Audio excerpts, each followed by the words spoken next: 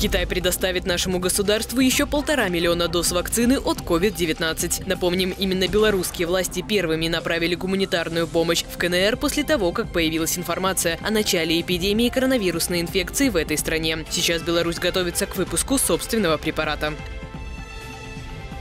Торговые сети готовы сделать 10% скидку уязвимым слоям населения. Такое соглашение Март и крупные ритейлеры заключили впервые. Социально значимые товары можно будет купить дешевле во многих магазинах. Сейчас в списке 16 компаний. Планируется, что он будет расширяться.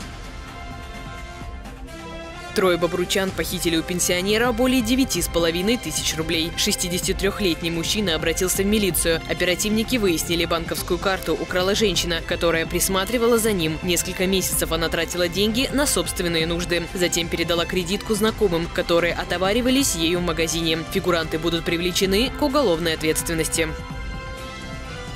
В Бобруйске горел жилой дом. ЧП произошло накануне в переулке Шишкина. Спасатели ликвидировали пламя. Хозяев во время возгорания на месте не было. Повреждено имущество, закопчены стены и потолок. Пострадавших нет, причина устанавливается.